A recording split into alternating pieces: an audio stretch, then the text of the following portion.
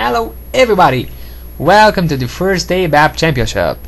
I am Fabio Pagoti from ABAP101.com and in this video I'm going to show you how to join the championship and as a consequence let you enjoy a great opportunity to learn ABAP at the same time you can have some fun. Before start, let me introduce you blog ABAP101.com.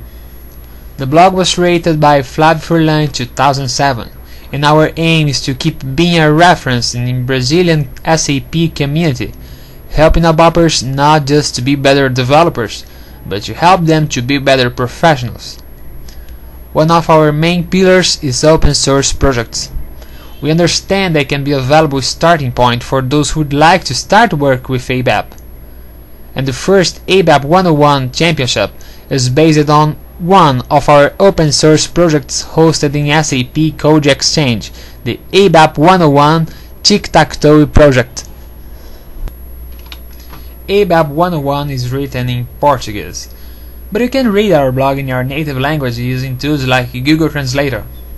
Also, I invite you right now to subscribe our newsletter and to follow us in the media, where you can stay tuned in our projects and of course keep learning ABAP with us. The challenge behind the championship is to develop a Keystone SAP object, which will be used by ABAP 101 Tic-Tac-Toe project. This is a project which has a very simple requirement, be a tic-tac-toe game. However, it was completely done using Web Dynpro for ABAP, ABAP objects, MVC and other, other key stuff. I can guarantee you that the game is quite surprising at first sight. The great thing is that you don't need to know all these technologies. In fact, you only need a very basic understanding of ABAP objects to participate in the championship. To install the project in your ABAP trial version, visit our project homepage in SAP Code Exchange platform. There you'll find all necessary instructions to install it.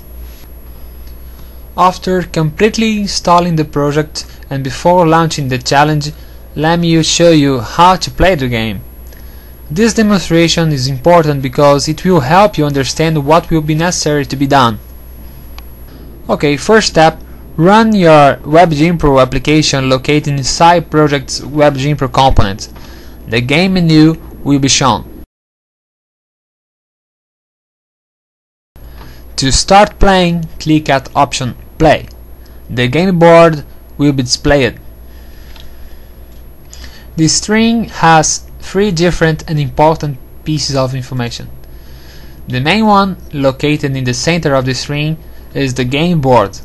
Internally, its squares are numbered from 1 to 9. The second are the two boxes located in, in each side of the string. They show information about game players, like player's name, player's type, and their score.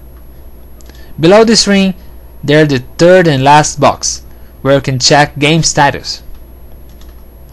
The player responsible for the next turn has a black border in its avatar.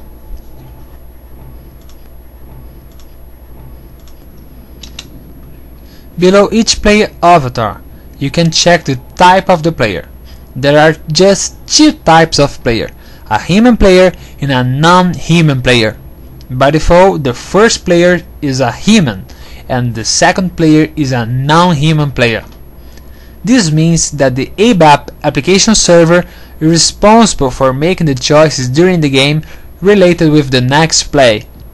To play a turn using a human player, just click in the desired blank square and it will be updated with the avatar corresponding to the respective player. To play with a non-human player, just click on the play button located inside player's information box. It will only be enabled when the player is the responsible for the current turn. When the game ends, players' score are updated, a message is displayed in the upper part of the screen and no more turns are possible. You can start a new game clicking in New Game button. You can define some game options, and here's where the challenge begins. In the game options, you can define player settings, like their names and their types. I mean, human or non-human. If a player is defined as non-human, you must define a global class responsible for its artificial intelligence. By default, the class lazy player is defined. I will talk a little bit about this class later. For now, it's important to know that the class defined here must follow some prerequisites. You can check if your class follows some of them using the Test Class button. Your participation in the championship will be done through a Keystone global class created by you. You have to build an artificial intelligence class for a tic-tac-toe player to be as smarter as possible. Given a game board, this class will have to decide what is the best play in order to win the game. You can build more than one class with different strategies if you want. So, you can have more possibilities to win the championship. The project already includes a Keystone Global class, which you can use as a model.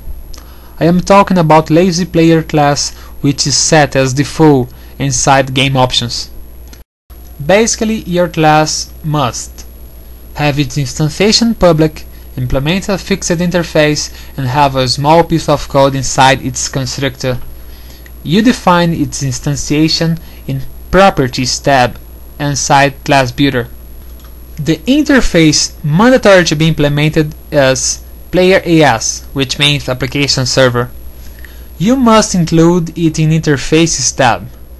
As soon you do so, attribute myValue and method decide next play will be created in your class. My value attribute will keep the information if your class is X or circle during the game. And the most important part, is decide method decide next play where you will add your custom logic responsible for answering the following question. What is the best square inside tic-tac-toe game board to be chosen in the current turn?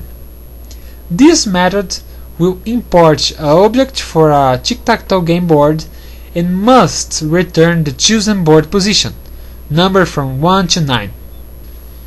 You can check that lazy class always returns the best board position as the first empty position found going from 1 to 9 and that's why it's called lazy.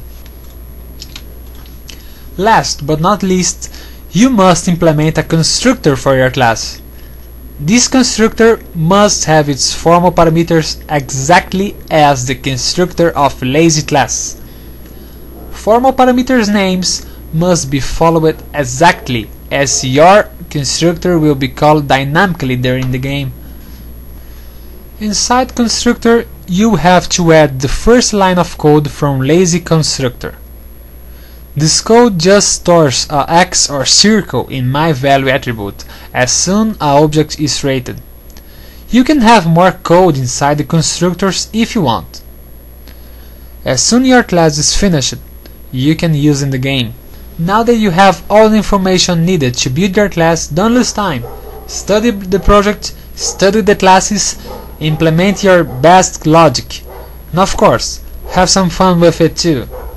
Stay tuned in ABAP101.com, in Tic-Tac-Toe project, in SAP Code Exchange, and in my blog at SDN. There you can read more about the championship, its rules, prizes, and look for some hints.